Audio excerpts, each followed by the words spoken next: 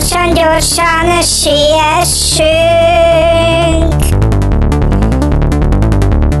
Valamiről lenekésünk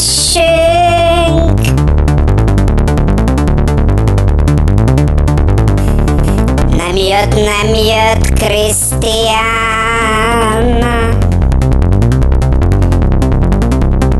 Beteg lett az indián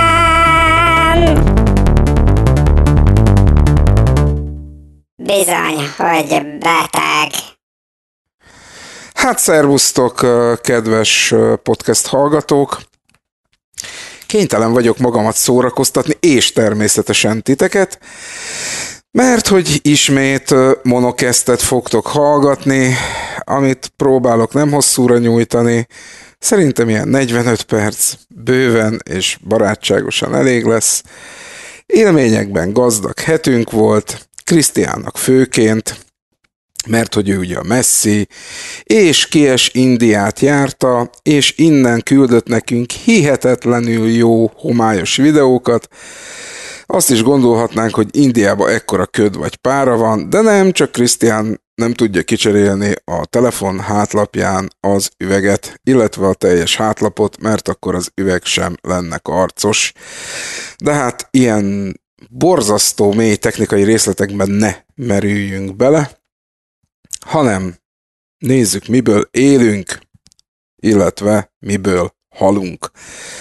Ugye a monokesznek az a hihetetlen nagy előnye, egy, nem pofázik bele a mondatdódba senki, kettő, arról beszélsz, amiről szeretnél, vagy amiről akarsz. Nos, én nekem a héten kijutott mindenből, Krisztián beteg, egyébként én is az vagyok, ugyan én nem mentem el mondjuk egy ételmérgezésért ilyen hihetetlen messzire, én nekem elég volt Bulgáriába kimenni tegnap előtt, Szófiába egy üzleti tárgyalásra, és olyan ételmérgezésben lett szerencs, vagy részem, hogy azt se tudom, merre vagyok arccal előre. Kedves kollégám, akit innen a podcast stúdióból is köszöntök, ő egy nappal hamarabb tálalt ki, mint én, de azért már nyilván a, a nehezén túl vagyunk. Senkinek nem ajánlom, hogy mosatlan gyümölcslevet igyon Bulgáriában, vagy esetleg valamilyen, nem is tudom, kétes állagú, kinézetű, akármilyen étel tegyen, ne igyon a csapró vizet, és becsukott szemmel vezessen. Mert hogy amúgy a táj gyönyörű, de hogy én életemben nem voltam Bulgáriában, tehát aki volt, az nyilván látja, vagy tudja, hogy milyen. A tája semmi gond nincs, de a tájban lévő műtárgyak azok hihetetlen módon le vannak pusztulva, és úgy autópályán menni, hogy az elválasztó korlát hihetetlen módon rozsdás, hát legalábbis úgy néz ki, mintha tavaly a Titanicot kiemelték volna a tenger mélyéről, és hagyták volna egy évig a friss tengeri levegőn. Tehát valami borzalom. És ilyen kihalt jellege van az egész országnak, tehát én komolyan, tehát már azon versenyeztünk, hogy kilát embert az út szélén. Tehát senki, nagyon lepukkadt házak, üresen tátonganak, legalábbis Szófiáig nem sok élet volt ebbe az orsz- ebben az országban. Szófia viszont azt kell, hogy mondjam, hogy egy szép város. Mondjuk éjszaka voltunk ott, esett az eső, és a város központban láttunk pár ilyen toronyházat, de az amúgy rendben volt, illetve a szállás is nagyon baba helyen volt, egy ilyen 11 néhány emeletes szállodába, borzasztó szobák, tehát ilyen óriásiak. Na, nem, nem tudok mit, mit mondani, tehát, hogy egy, egy kétágyas szobához még egy, a kétágyas szobától nagyobb ilyen társalgó is járt, az engem meglepett. Tehát ilyen, ilyen hihetetlen érdekes volt. A másik meg a, a szállodában a, a fizetés nem egyszerű, tehát aki, aki mégis úgy dönt, hogy a Balkánnak erre a részére utazik, az készüljön föl arra, hogy 50 eurónál nagyobb címletet nem fognak tőle elfogadni. Tehát először azt hittem, hogy a recepciós beteg, vagy be van füvezve, vagy nem tudom én mi, de hogy a 100 eurós nem fogadta el, és mondta, hogy náluk csak 50 euróssal lehet fizetni, vagy attól kisebb címlettel, és nem értettem. Utána persze egy-két okos ember, aki már járt arra, illetve hát állítólag ez másutt is így van, sőt, tár még az, az Unió központjában Németországban sem nagyon szeretik mondjuk az 500 euróst, mert hogy az lehet, hogy hamis, mert túl nagy címlet. Na Bulgáriában már a 100 euró is óriási címletnek számít, úgyhogy nem is mentünk semmire a, a 100 eurósainkkal. Úgy kapartuk össze a, a szállodának a, az egy éjszakára való 69 euróját, de hát, na, szóval az él, élményekben és, és gyomorrontásban gazdag utunk volt, egy nap oda, egy nap vissza, nem kívánom senkinek, az egy ilyen uh, Csíkszeredából Bukaresten keresztül ilyen 12-3 óra, amúgy kilométerben nem egy borzalom, tehát ilyen 600-700 kilométer között van. De 600 milyen kilométer, mondaná az ember, és egy csomó ilyen gyerekkori emlékem támadott meg, mert nem tudom, hogy ki az, aki emlékszik rá, nyilván a fiatalabbak már nem annyira, de hogy a Kossuth Rádióban minden egy órakor, két órakor, minden nap vízállás jelentés ment. Ez a hajósoknak nagyon fontos volt, de én két városnevet jegyeztem meg rettentő módon, mert hihetetlenül tetszett. Az egyik az a Giurgiu volt, a másik pedig Severin, és mi most Giurgiunál léptük át a, a román-bulgár határt, úgy, hogy egy hihetetlen 1958-ban épült, amúgy ilyen, ilyen nem is tudom, tehát ilyen két-háromszáz éves stílusban épült Dunahídon mentünk keresztül, és akkor mondták, hogy hát Romániában két, talán két Dunahíd van, úgyhogy érezzem megtiszteltetésnek, hogy az egyiken így átmehetünk autóval, és természetesen hídpénzt kellett fizetnünk, ami itt a Balkánon azért nagy divat, hogy mindenféle ö, dologért ö, baksist vagy sápot szednek tőled. De érdekes volt. Még az ételmérgezés ellenére is azért voltak ilyen jópofa pozitív dolgok, és hát hogy a Duna az akkora uh, Giurgiuna, hogy uh, nem is tudom, tehát ilyen kétszerese, háromszorosa, mint uh, a budapesti Duna szélessége óriási, és na- nagyon szép, csak semmi nincsen a Duna két portján, a, a, az elvadult természeten kívül, meg az iszonyúan lepukkadt uh, házakon kívül. Gondoltam, hogy videózok egyet, de egyszerűen tehát ezt a, ezt a, a pusztulást videózni szerintem hihetetlen módon nem érdemes. Úgyhogy ez így elmaradt a, a szófiai látogatás kapcsán. Egyrészt, másrészt pedig hát Bulgária nagy részét ö, odafele sötétbe ö, tettük meg, szakadó esőbe. Visszafele már sütött a nap, csináltam is egy-két érdekes képet, lehet, hogy a, a podcastbe valahogy beszerkesztjük ezeket a, a képeket tényleg csak az, az érdekesség kedvéért. Viszont van azt hiszem három alagút, amin, amin átjöttünk, és azok igazi hegyek alatt vannak, tehát nem úgy, mint Pécs felé az autópályán, hogy még földet kellett hordani az alagút tetejére, hogy legyen értelme egyáltalán az alagút titulusnak. Itt azért rendesen bele van vágva a hegybe, és azok tényleg, azok szépek, aránylag új és modern építések, és ott az autópálya is tűrhető minőségű, tehát ott lehet haladni. Szófia előtt ez egy olyan 100 kilométerre lehetnek ezek az alagutak, és azért ott, ott ilyen köthatár környékén autózol, tehát ilyen 1000-1200 méter lehet a, a magasság.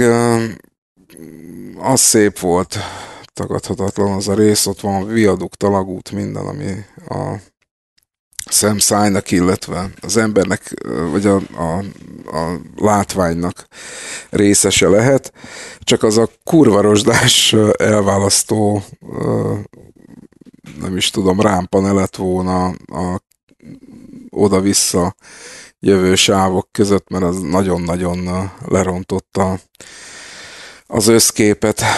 Hát ennyit a, a kis kirándulásunkról. A másik klassz dolog, ami történt velünk, vagy velem, vagy nem is velem, hanem az egy másik kollégámmal, nem tudom, persze, hogy nem tudjátok, de Magyarországon megrendezték az első ilyen kvázi dohányipari kiállítást, ahol természetesen az e-cigaretta forgalmazók is jelen voltak, akik a magyar piacon ott vannak. Na én nem, mert én Bulgáriában voltam, de a kollégám igen, ő részt vett rajta, elég jó és nagy érdeklődés volt, csak a, a rendkedvéért, tehát Dortmundban egy ilyen kiállításon mindenki ezerrel osztogathatja a likvidet, és tesztelhet, kóstolhat, és mit tudom én, megmoshatja a kezét a Heisenbergbe, vagy beleöntheti a nadrágjába, vagy a hajába kenheti, vagy bármit csinálhat, bármilyen likvidekkel, és ilyen óriási promóciós csomagokkal jöhet-mehet. Na most ez Magyarországra nem annyira jellemző, tehát így ki volt hirdetve, hogy jövedéki alá terméket, ugye ez a mi esetünkben azt jelenti, hogy amennyiben nikotin tartalmaz a likvid, azt nem lehet ajándékba adni, vagy osztogatni, illetve bent sem dohányozni, sem vépelni nem lehetett, csak a kijelölt dohányzó helyen. Úgyhogy megint találkoztunk a magyar valóság egy igen-igen szép szeletével.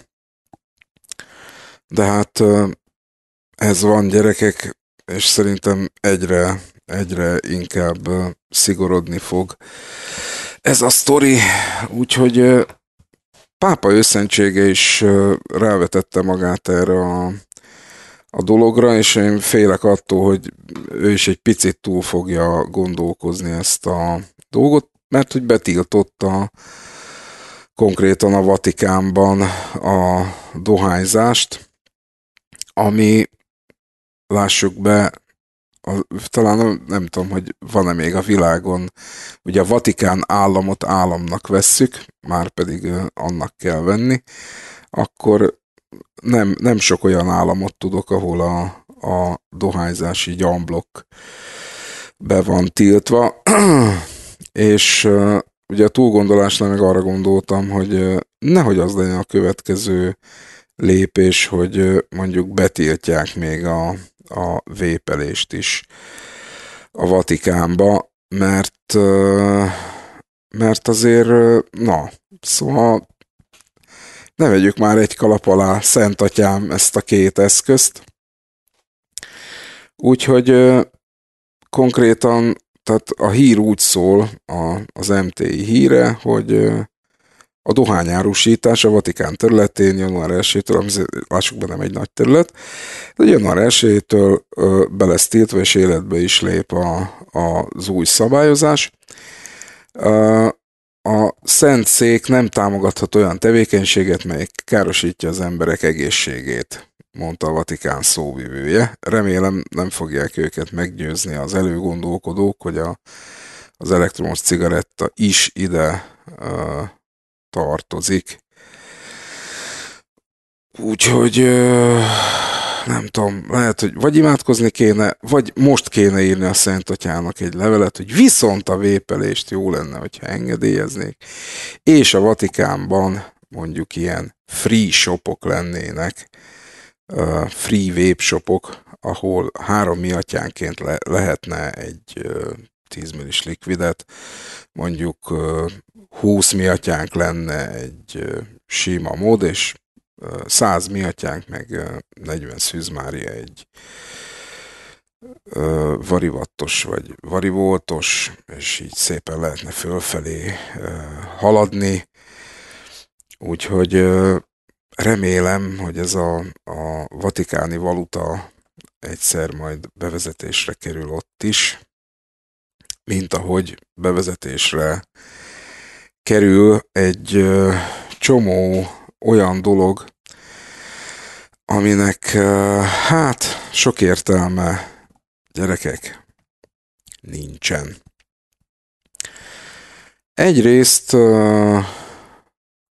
a héten abszolút ilyen jártamban, keltemben nézed a Facebookos értesítéseket, és próbálsz így nem is tudom, szűrni az egyébként borzasztó mennyiségű hír vagy poszt között, de azért az úgy megütötte a, a szemem, hogy hát már megint elkezdődött a, a vadhajt, vadhajtók, nem vadhajtók, hanem vadhajtók, és a, tehát az annyira tetszett ez a, ez a a mondat pálcika, pál, pálcika gőzölők, vagy pálcika modot használók harca.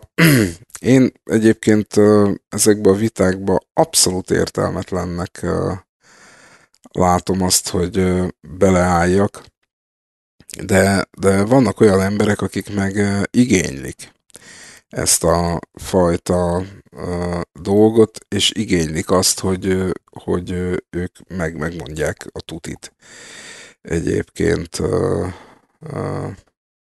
a, azoknak, akik mondjuk 30 watt fölött nem hajlandóak, vagy nem szoktak használni készülékeket.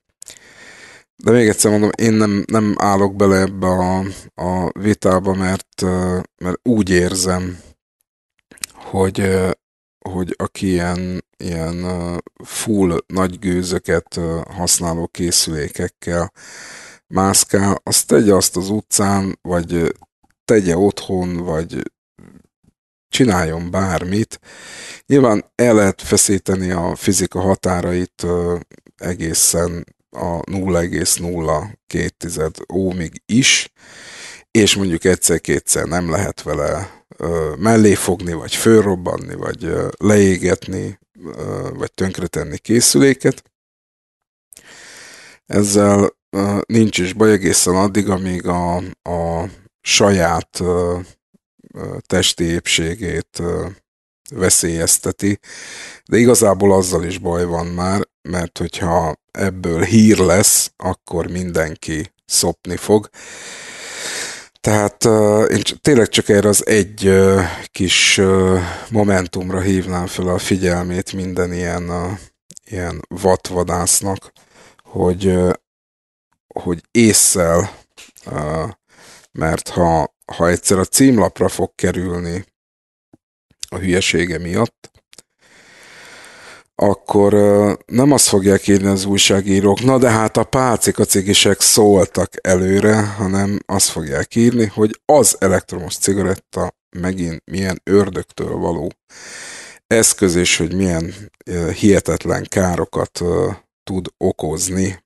és ugye senki nem vizsgálja azt, hogy milyen körülmények között, hogyan, miért, és úgy egyáltalán minek is történt ez, a, ez az egész dolog.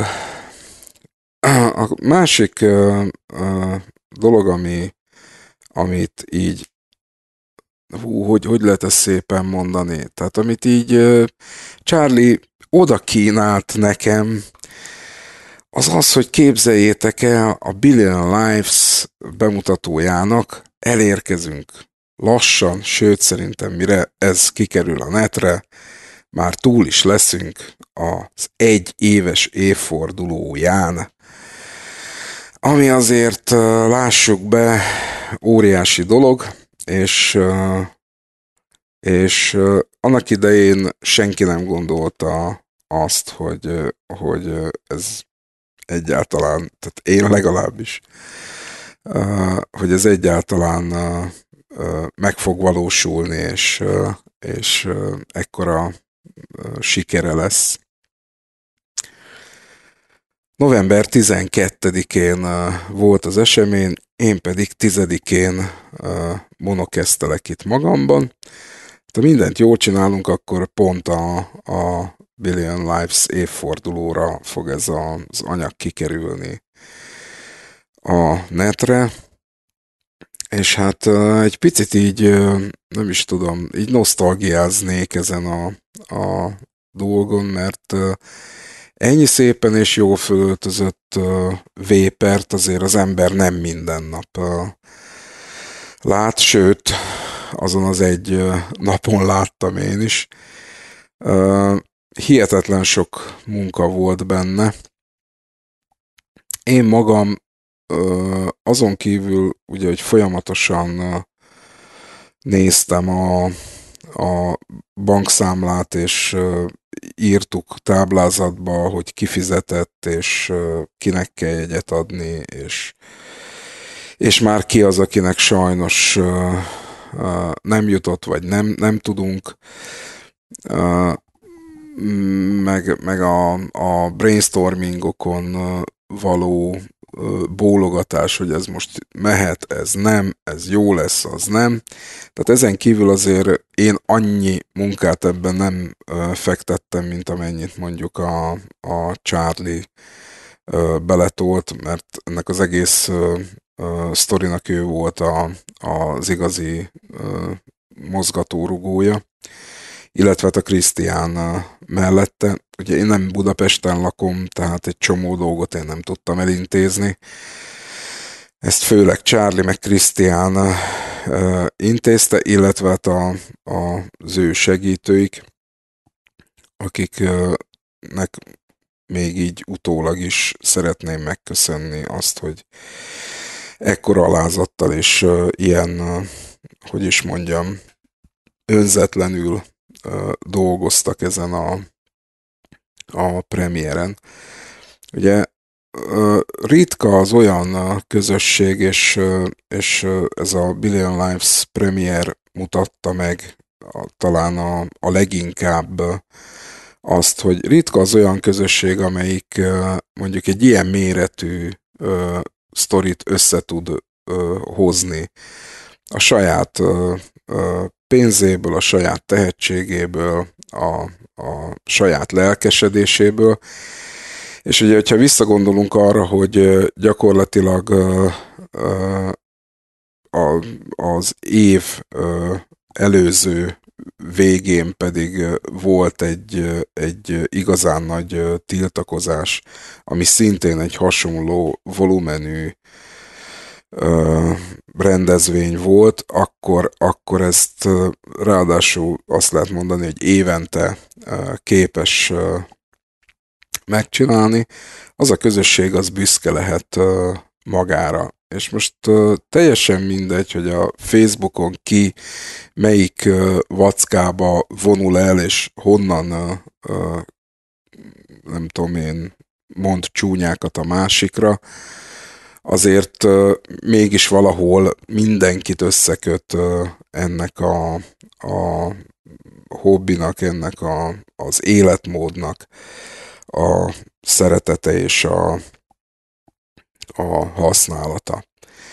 Azt lehet látni, hogy hihetetlen módon, ugye erre szokták azt mondani, hogy fölhígult, de én nem szeretem ezt a szót, hogy fölhígult, mert nem fölhígult, hanem egyszerűen, ha valamiből nagyon sok van, ezt már Marx is mondta, hogy a mennyiségi változás az mindig minőségit okoz, ez társadalmi folyamatok szintjén is így van. Minél többen vagyunk, annál többféle jelenséggel lehet találkozni ebben a, a közösségben, és mindenkit óvaintek, hogy egy-egy véperről kialakított véleményét ráhúzza a teljes véper társadalomra, mert az úgy rettentően torz képet fog adni. Úgyhogy én, mint ilyen öreg pácikamód kedvelő, nem szeretném azt, hogyha ha mondjuk a, a mit tudom én, 100 watt környékén gőzölők azt a véleményt alakítanák ki rólam, hogy hogy én egy ilyen túlhaladott vénszar vagyok, bár gondolom, hogy elég nehéz ettől a, a véleménytől eltántorítani bárkit, illetve hát ez a fajta csoportsovinizmus, ami kezd itt kialakulni a, a 50-100 watt környékén. Gőzölők és az az alatt gőzölők között, akik egyébként marha érdekes, hogy igazából a régi iskolához tartoznak, és, és nem mentek bele abba a fajta, nem is tudom, gyártók és, és a, a, a média által keltett média, Magyarországon nincs is az e igazából médiája, tehát ez most ilyen furcsa a számból, de, de azért látjuk, hogy a tendencia erre halad, hogy még a gyári kazánok is most már ilyen 0,2, 0,4 watt környékére mentek le, és azért ugye mi ezt mindig elmondjuk, hogy mi még emlékszünk, amikor a másfél óm is hihetetlen alacsonynak számított, és igazából a kettő és három óm, kettő és fél óm közötti kazánok voltak a, a mindennap használt eszközök. De ugyanilyen sovinizmus volt annak idején, csak uh, nyilván ezt a fiatalok uh, uh, nem, nem tudják, de ugyanilyen sovinizmus volt annak idején a Commodore 64-et használók és a, a Commodore Plus 4-et használók között. Ugyanilyen sovinizmus volt a komodorosok és az amigások között. Ugyanilyen volt, nem tudom én, a, a bármit mondhat. A piros ö, pólóba járók és a fehér pólóba járók között. Ez az emberiségnek egyfajta ö, összetartozás ö, érzést ö, erősítő tulajdonsága, szeretünk a hasonlókkal együtt vackolni, és hát ugye olyan sokan vagyunk már e-cigarettások, hogy látszik az, hogy az e-cigaretta használókon belül alakulnak ilyen vércsoportok, hogy vérpálcika, e-cigaretta használók, 50 watt fölött gőzölők, majd jönnek a 100 watt, meg 200 watt környékén gőzölők, drip, drippelők, nem tudom én, skankerek, meg, meg kleptonosok, meg, meg a jóisten tudja még hány felé lehet bontani ezt az egészet. Csak egyről nem szabad elfeledkezni, hogy a, a maga a gőzölés az, ami, ami ennek az egész dolognak az alapja. Egy egészségesebb és egy jobb alternatíva, és ennek a hirdetése, és nem egymás uh, felszalámizása, és uh, és azzal, azzal való foglalkozás, hogy ki mit, hogy csinál. Azért tényleg csak ilyen széljegyzetbe szoktam ezt így megjegyezni, hogy ebből a, a fajta társadalomból, amelyik már nem megy át a másikat megkérdezni. Mit, hogy nem megy át a másikat? Tehát a szobába nem megy át, hanem ír Facebookon a gyerekének, hogy gyerek ajánlni, vagy a, a gyerek ír az anyjának az egyik szobából a másikba, hogy nem megyek. Tehát, hogy ez a társadalom azért nagyon-nagyon átformálta a régi trendeket, de, de azért még azt hagy kérjem már tényleg mindenkitől, hogy ha nem is azt nézi, hogy milyen idős a másik, vagy milyen végzettsége van, vagy milyen képzettsége van, legalább ebben a sztoriban eltöltött időt nézzük. Tehát aki egy éve gőzöl, az ne legyen már okosabb egy elektrotechnikusnál, aki hét éve űzi ezt az ipart, és, és azért látott már egy-két dolgot, és mondjuk még ráadásul ebből is él, ezzel foglalkozik, ezzel kell, ezzel fekszik éjszaka, az ne legyen, tehát ne, ne próbáljuk már degradálni azt a tudást, azt a, azt a közösségért tett rettentő sok erőfeszítést, amit a másik helyette elvégzett. Ne, ne próbáljuk degradálni, és, és hogy is mondjam, nem figyelembe venni, és nem tisztelni. Tehát én azt gondolom, hogy a közös tisztelet megillet minket, már nem csak engem, hanem egymást. Úgyhogy én ezért is nem szoktam beleállni ezekbe a, a vitákba. Ha bárki megkeres privátba, nyilván nagyon szívesen el szoktam mondani a véleményemet, vagy, vagy kifejtem, de, de hogy XY csúnyát mondott, vagy nem, vagy nem tudom én, ilyenekbe én már nem, nem állok bele. Visszatérve a Billion Lives-ra uh, és a, a közösségre, ugye ez csak egy kitérő volt a, a közösség kapcsán. Uh, ezelőtt egy évvel ez egy, uh, ez egy olyan nap volt, amikor az ember a, a lelkét is ünneplőbe tudta öltöztetni, és akik ott voltak, azok tényleg uh, uh, nem felejtik el azt a, azt a, a hangulatot, azt a fajta milliót, ami, ami körülvet minket egy csodálatos moziban, egy uh, uh, csodálatos és szerintem igen-igen uh, uh, mély uh, elemző filmet nézhettünk meg, azzal a magyar fölirattal, amit uh, szintén ez a közösség uh, rakott össze, és, uh, és szerkesztett meg, és uh, ugye leg, legnagyobb, uh, uh, hogy is mondjam, megelégedésünkre ez került föl aztán a, a forgalomba kerülő DVD, illetve letölthető változatra is. Úgyhogy én azt gondolom, hogy erre, a, erre az ünnepre érdemes visszaemlékezni, és érdemes megköszönni mindenkinek, aki, aki csak száz forinttal is, vagy csak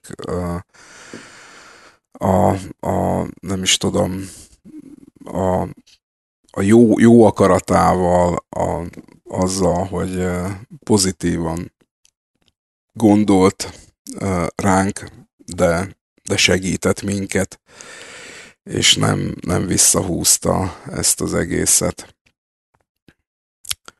arra is ki kell azért térni, hogy nyilván egy ekkora eseménynek vannak árny oldalai is.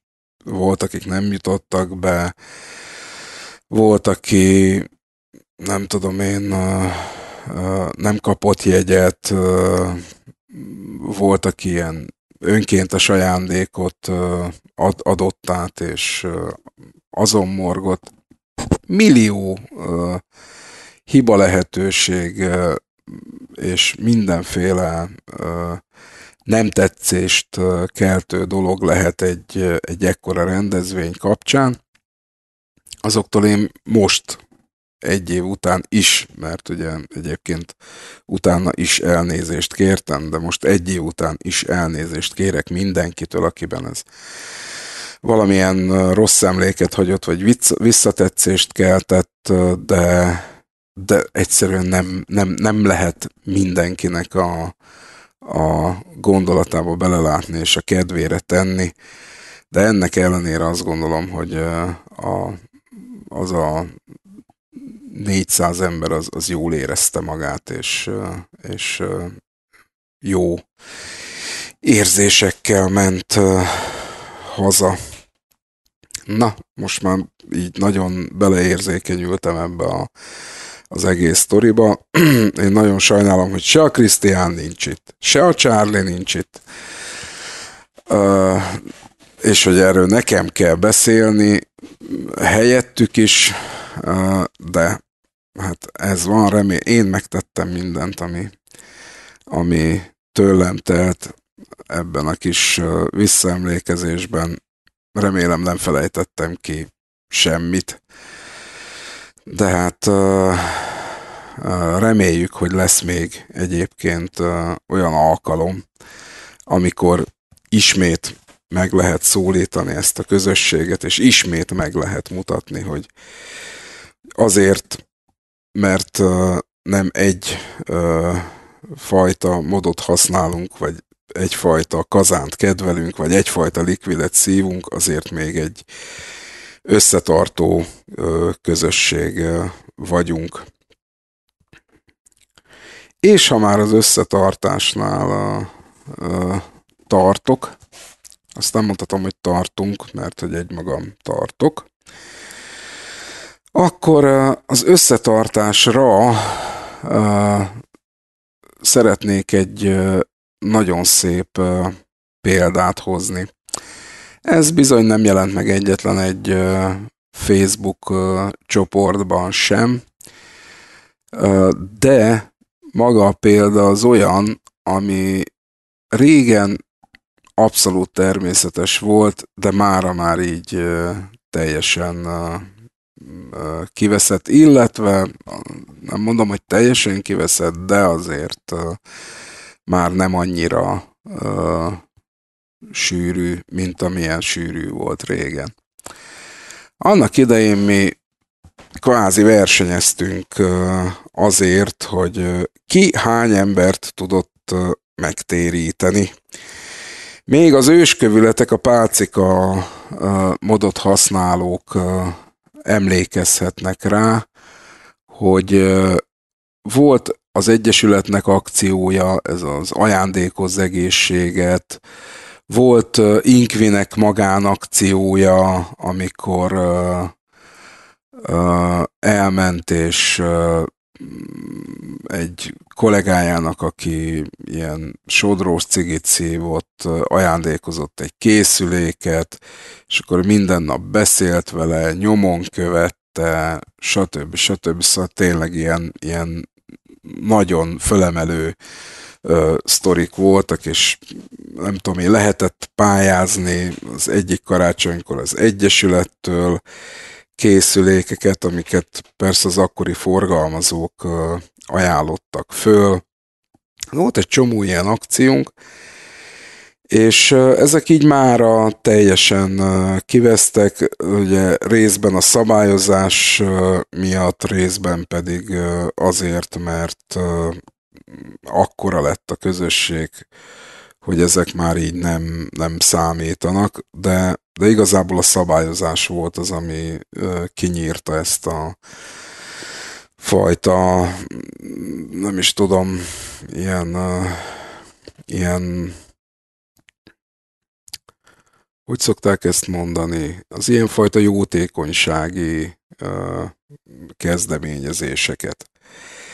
És uh, itt Székelyföldön uh, volt egy uh, ismerősöm, aki hát így egyre jobb készülékeket uh, vásárolt, és uh, egyre jobb eszközei voltak, és hát mint ilyennek ugye előbb-utóbb uh, így felszaporodtak a, a, az eszközei, amik hát van, aki megtartja, van, aki meg úgy gondolja, hogy uh, mi a fenének álljon ott a, a polcon. És az az ismerősöm meghirdette egy ilyen Facebook csoportban a, a készülékeit ingyenesen. De abba volt a iStick-tól kezdve a, mit tudom én, 1400 mAh-órás pálcika Aspire-ig bezárólag minden. Jó készülékek voltak, működött mindegyik, kimosva, kitakarítva, kitisztítva, és így várta, hogy majd biztos sokan fognak jelentkezni. Nem jelentkezett senki, tehát ez is egy ilyen, ilyen érdekes, megérne egy misét konkrétan, hogy hogyha ingyen van, akkor már nem kell, és majd erre mondok egy másik példát is. És egyszer csak ráírt valaki, hogy ő neki nagyon nagy szüksége lenne uh, ilyen készülékekre, de ő ezt ingyen nem fogadhatja el. És uh, az ismerősöm megmondta, hogy ő meg pénzt nem akar elfogadni, úgyhogy aztán az lett a vége, hogy uh, elment hozzá egy hétvégén, összegerebjéztek, kitakarítottak, rendbe tették az udvart, közben összebarátkoztak, és hát ennek már egy ilyen fél éve, és azóta rettentő nagy békességben továbbra is barátként gőzölgetnek, és most már azon gondolkoznak, hogy, hogy hogyan lehetne ezt a, a nem is tudom, e-cigaretta ingyen, de mégse kezdetű dolgot, hogy egy ilyen közös munkában megszerzett dolgot, és hát a hozzáépülő barátságot hogyan lehetne kiterjeszteni, és egyre több embert bevonni ebbe. Marha nagy sikernek érték meg egyébként. És amire rá akartam még ezen kívül térni, az az, hogy mi akárhányszor ingyen adtunk valamit, az valami soha nem sikerült. És valahol megértem ezt, a, ezt az embert, aki, akinek kellett, de, de nem volt rá pénze, de mégse akarta ingyen elfogadni. Mert ha valamit ingyen kapsz, annak az értékét nem fogod úgy érezni, mint hogyha megdolgoztál volna érte. És ez volt a legtöbb probléma a, a dohányos áttérít tések egy részével, és erre az Inkvi példája volt a legjobb, aki tényleg a kollégáját uh, térítette át e-cigarettára, és nem tudom, egy két vagy három hétig a, a srác nem, nem uh, nyúlt hagyományos dohánytermékhez, és amikor valamiért elkerültek egymás mellől, és két hét múlva találkoztak, akkor újra cigarettázott. És megkérdezte az Ingrid, de hát mi történt? Hát kaptam olcsón dohányt. És ennyi volt. Azóta is cigarettázik, és az e-cigarettát ugyan jó dolognak tartja, de, de mégse uh, sikerült neki teljesen az áttérés, illetve hát egyáltalán nem sikerült neki az áttérés. Pedig azt gondolom, hogy mindent uh, megkapott, mindenféle segítséget, hogy, uh, hogy ne szokjon vissza a hagyományos dohánytermékre.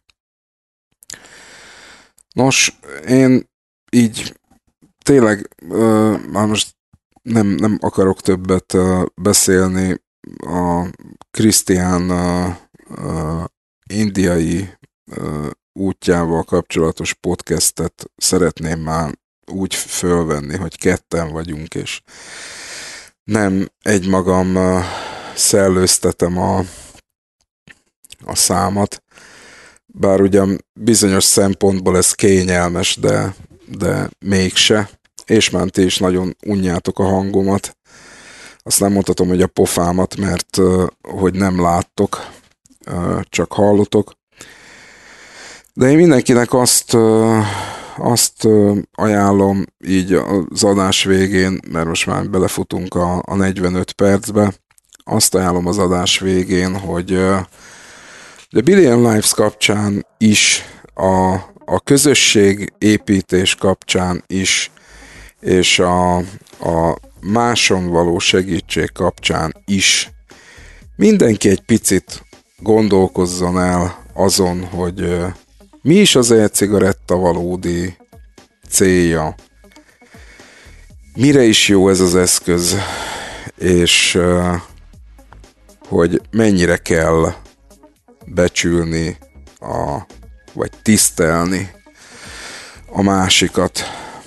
És én ezzel a mondattal szeretnék tőletek elbúcsúzni, és mindenkinek kellemes gőzülést kívánok a következő podcastig.